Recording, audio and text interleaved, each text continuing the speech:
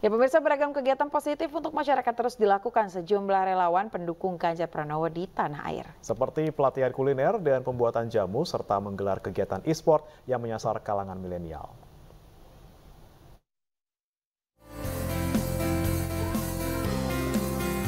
Untuk mencetak para atlet yang handal, relawan Ganjar Pranowo Ronggolawe menggelar turnamen olahraga elektronik di Kabupaten Tuban, Jawa Timur.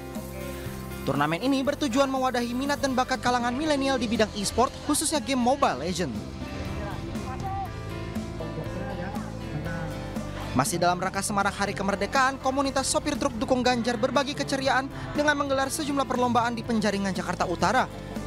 Kebahagiaan terlihat dari mereka yang mengikuti lomba joget, lomba yel-yel, hingga lomba yang sedang viral di masyarakat, yakni lomba memasukkan besek.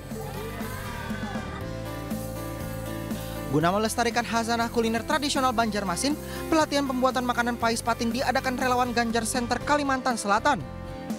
Menggandeng pelaku usaha kuliner, para peserta diajarkan memasak dan mengolah ikan patin dengan campuran banyak rempah bumbu khas Banjar. Melestarikan jamu sebagai obat herbal warisan budaya, relawan Pandawa Ganjar mengadakan workshop pembuatan jamu tradisional di Kabupaten Sukabumi, Jawa Barat. Sejumlah materi diberikan kepada para peserta, mulai dari proses produksi jamu tradisional, bahan baku, serta tanaman dalam mengolah jamu, hingga seputar pemasaran. Relawan yang tergabung dalam kelompok petani tebu bersatu dukung Ganjar membangun sejumlah fasilitas umum bersama warga di Kabupaten Kuningan, Jawa Barat. Gotong royong ini dimulai dari revitalisasi lantai musola, memasang penerangan listrik hingga menyediakan dapur umum dan berlangsung selama tiga hari.